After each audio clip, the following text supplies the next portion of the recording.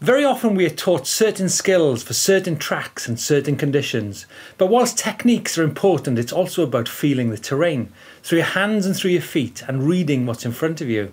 That's not so difficult for a track we know, but what about a track we don't know? How do you find flow when you do not know what's ahead? And what more terrifying experience to ride the local trails with double world champion Fabien Barel?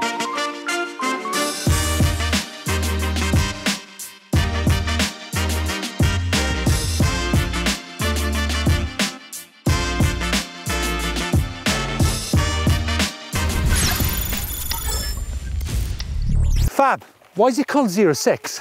Well, 06 is basically the order of alphabetic uh, department that you have in France and uh, obviously Alpes-Maritimes are part of the first one, 06 and uh, the particularity of, of, uh, of that department is that it's the end of the Alps. The, the, the, success of that terrain here is its diversity and mainly its technicity. I mean, you look at it here, it seems to be like, well, I don't know, how would you describe this, this geology? well, this we call that the grey earth, yeah. which is a bit of a kind of yeah. anti-grip as you guys would call it. And then we get back over on the other side of the hill and there's that solid rock out outcrop. Yeah, you, you got many different rocks that they also used to, you know, build concrete and houses with, which, uh, which is a lot of diversity. And yeah, you have a loose part and some solid part that we're going to be riding a bit later on. And yeah, there is a lot of diversity, but as I said, the terrain is fairly harsh. So most of the harsh, riders, did you say? Yeah. like all the all the riders that you will actually see around the area yeah. are actually fairly good riders. They know that. They know what they're doing. Come on, let's try it out.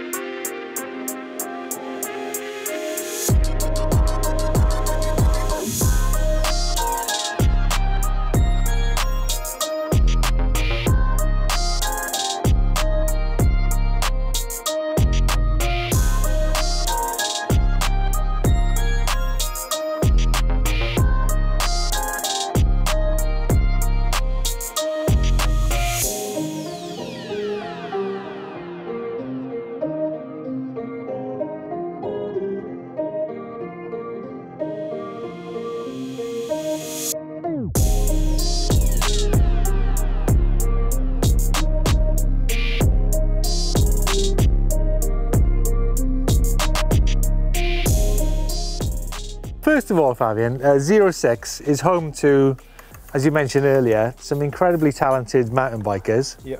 We're looking at, you know, yourself and Nico Vouilloz. Well, that's the first ten, one. 10 times world champion, yeah. five times World Cup Series champion. Yeah. Why though? Why is it? Is it? Uh, is it in the water? Well, is it just fact that it's just ridiculously difficult? After riding this morning, you really wonder why?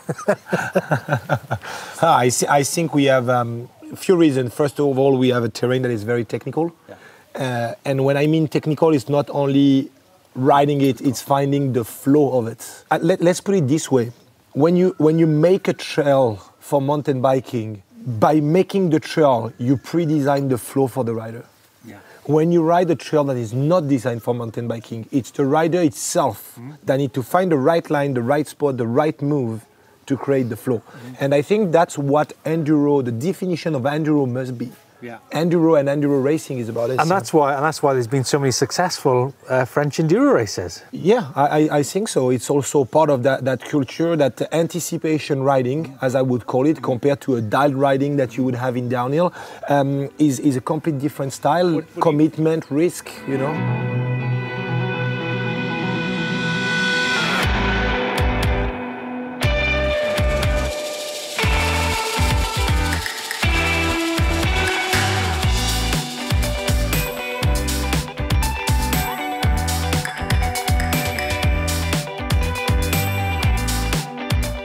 I wondered then whether that was the reason why this area had bred so many successful riders, in that they had developed an ability to find flow in such a harsh environment. I also pondered how I would be able to adapt and bring flow in such a place. What's happening, Jonesy? Oh, ah, Fabien. Oh my God. Are you sweating? sweating, my heart rate is screaming. So what do you say to the guys that are saying that e-bike is for lazy people? What do you tell them? Oh, tell them to go back and sit in their armchairs because don't get involved. That's hard. It's tip. Huh? It's tip, tech, fun. Oh man. The thing is, we climbed quite a long way there. Yeah. And then as soon as you're getting up these big steps, well, lucidity. I mean, wow. You can, I mean, you can probably see. Oh, So hard.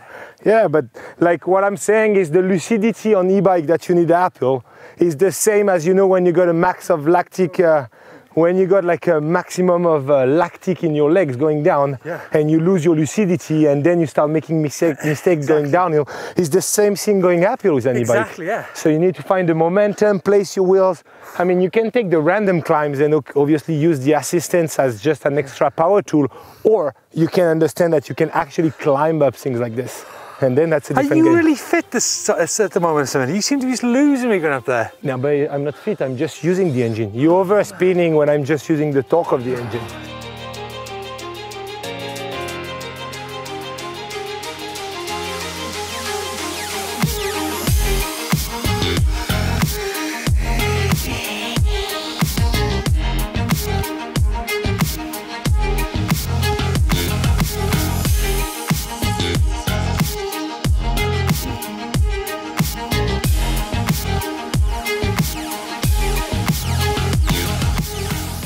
Riding behind Barel taught me commitment, risk, and gave me a first hand view on how the master eked out every inch from the ground.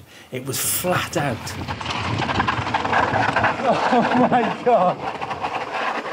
Right, if that doesn't look cool. Now we've gone from no grip to this. Is it sandstone? I think it is. It is sandstone. But uh, wow, a totally different landscape. While you see going up, like you don't have any problem of grip. You have a huge motricity. Even going down when you're off cambering uh, this rock, it's all fine. It's a complete different terrain that you what you have seen this morning, and uh, It's cool, isn't it? Yeah, well, that's the beauty of the diversity. Like you are within maybe a kilometer or two of distance, and you have completely different like uh, nature and and rocks. So yeah, that's Do you know what we were talking about earlier? We were talking about flow. So my question to you is, what do you prefer to ride? Do you prefer to ride that closed race environment, or do you like riding what we're doing out in the open? Well, just just racing wise, I, I have to say that the competition of downhill, getting your line dial and getting the move is absolutely fantastic. Yeah, that has its own thrill, right? Exactly, it's absolutely great. But on the on the other hand, there is nothing better to me than finding the flow and picking up the flow in a trail that you ride for the first time. And this is something that is very unique in enduro as well. Is arrive in crazy location, other side of the world. You maybe do one run or two, and right away you need to have the flow, the pace to give it hundred percent. And um, that's something that is very unique to mountain But biking. it's but it's also a, a core skill to mountain biking to be able to interpret the terrain because during even during a race situation, the conditions might change. It might get drier, it might get wetter. Completely, completely. And that's why you would see that uh, obviously most of the downhill rider would be good in enduro, but also a lot of the downhill guys that are very dull coming from motocross or BMX, they actually need to know the line. They don't like to be blind, they don't like to be in sketchy, not saying, seeing and see what is happening out of the corner. And all this is demanding obviously a certain commitment and risk going with a certain anticipation and flow pickup that you have into, into the trails. Flow is about feeling the trail, moving with it, anticipating it, pumping into it and through it, about reading it and measuring effort and speed in perfect balance to attain that sweet spot.